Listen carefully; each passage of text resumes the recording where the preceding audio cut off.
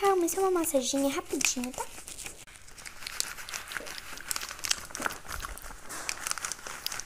Calma, gente, você tá limpando, é rapidinho, por causa que precisa limpar, entendeu? Bom, tá com os poros no nariz e alguma coisa assim, né? Eu tenho que tirar, né?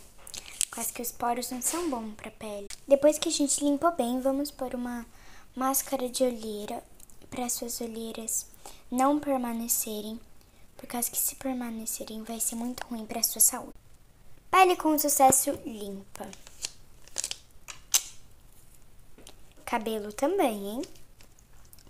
Boquinha toda hidratada, precisa de uma hidratação bem bonita.